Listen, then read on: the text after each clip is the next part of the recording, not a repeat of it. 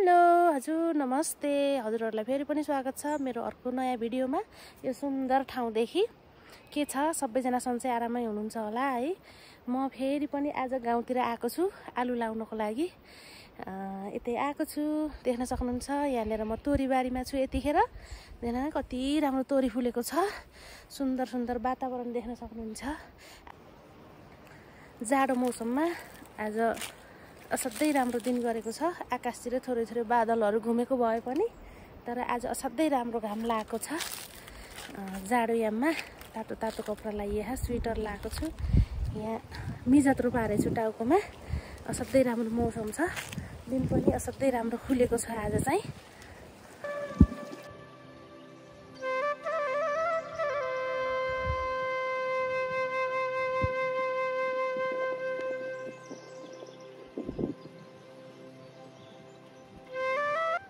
मेरो देख्न सक्नुहुन्छ भोगटे पोकै पोका फलेको छ। असाध्यै राम्रो। यसलाई हामीले आज घाममा बसेर साँधेर खान पनि सकिन्छ। जाँगर चलेमा।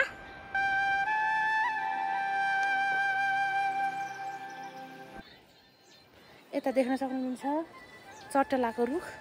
चटेला चाहिँ जात्रै छैन। अस्ति चाहिँ बेसरी फलेको थियो। आज चाहिँ पुरै जिलाएर टिपेको रहेछ चटेला देख्न सक्नुहुन्छ यहाँनिर छ चटेला काँडेदार। चटेलाको रुख हो यो।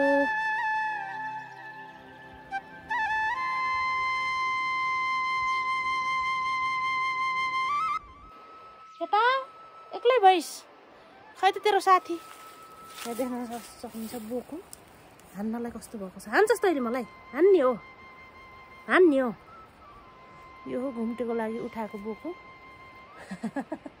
मामाहरूको बोको बेसरी चकचके छ यो चाहिँ। आजा आजा ओ हो ओ हो हो बल देखाएको बल। आइज यहाँ आइज।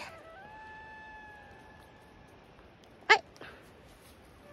डिस्यौँ डिस्यौँ। यहाँ सुकाएको छ दाल देख्न सक्नुहुन्छ? सिमी केराउको दाल मिसाएर सुकाएको रहेछ। पिसेर दाल खानलाई। लोकल हो यो चाहिँ। आलुको बिउ टुसाएको जम्मै मिठो हुन्छ त्यो के? चक्लेट हो क्या देख्न सक्नुहुन्छ टुसाएर यति राम्रो भएको आलुको बिउ। हामीले लाँदैछौँ अब डोकोमा राखेर।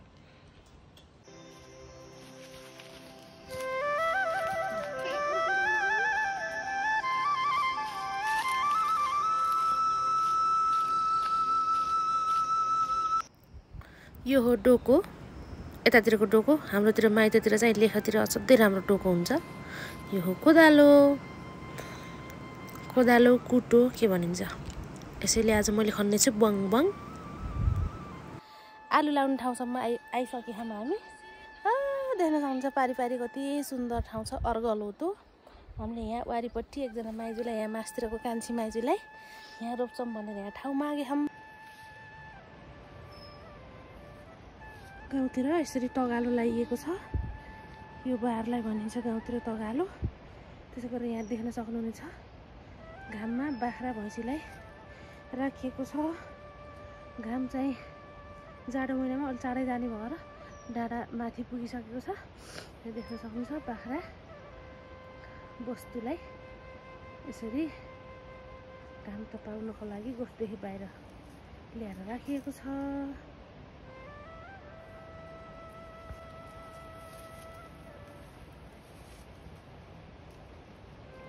तर्सेको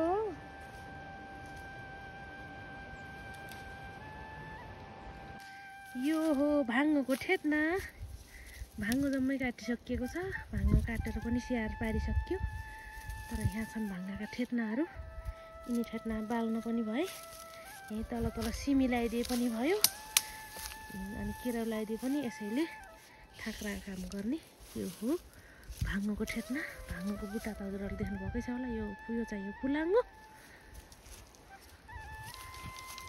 ए भाङ्गो।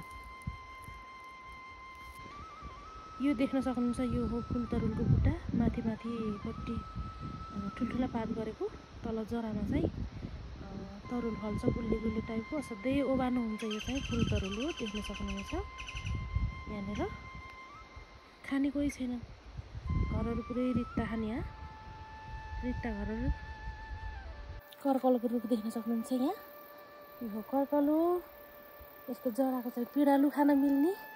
यो देख्न सक्नुहुन्छ पात कत्रो पहिला पहिला केटाकेटी हुँदाखेरि यसलाई हामीले ओहो कति बलियो रहेछ। यसरी छाता बनाएर पानी पर्दाखेरि छाता बनाएर यसरी हिँडिन्थ्यो। यो ठुलै यो कर्कलको पात देख्ने बित्तिकै मलाई चाहिँ त्यही याद आयो। कर्कलको पात। जोतेर सबै रेडी पारेको छ यहाँ। कमलो छ। यही ठाउँमा मोल राखेर आलु लाउँदैछौँ है त हामीले।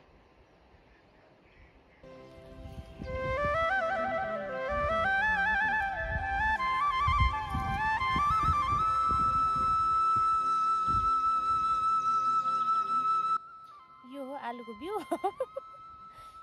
पुरै टुसा उम्रेको अनि पनि देखाएँ हजुरहरूलाई। मैले यो डोरोमा राख्दैछु यिनी आलुको बिउ यसरी। कति तारा रोप्ने होला।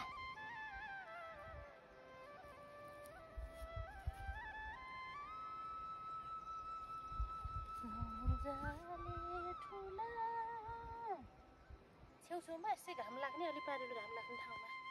लाउँदैछौँ हामीले आलु किन भन्दा अहिले मौसम चिसो छ होइन? त्यो भएको कारणले गर्दाखेरि उता कुना कुना चाहिँ तुसारो पर्ने माटो चिसो भएको कारणले गर्दा हामीले यसै छेउछेउमै डोरो बनाएर लाउँदैछौँ आलु।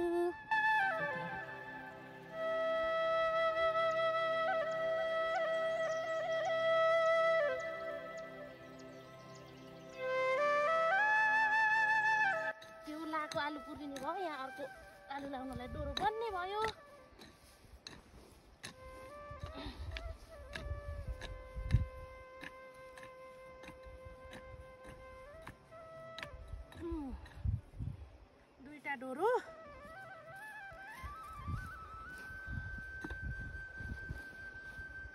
आलु लाउनुलाई चाहिँ दुई तिनजना हुने भने बल्ल सजिलो हुन्छ के अरे एकजनाले डोरो बनाउने एकजनाले आलु लाउने अर्कोजनाले फेरि पुर्ने। जो सजिलो पनि हुन्छ तर म चाहिँ एक्लै छु।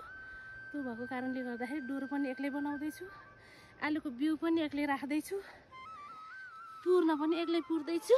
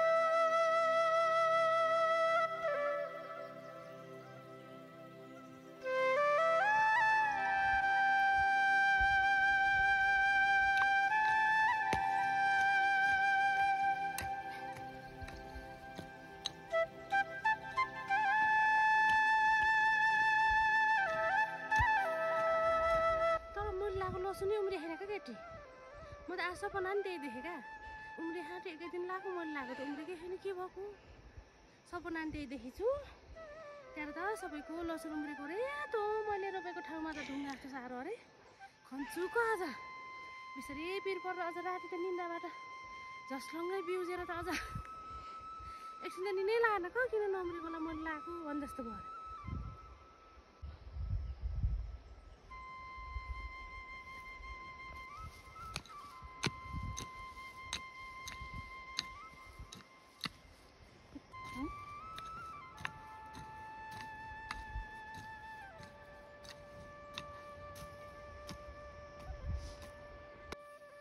फाइनल्ली मैले आलु लाएर भ्याएँ।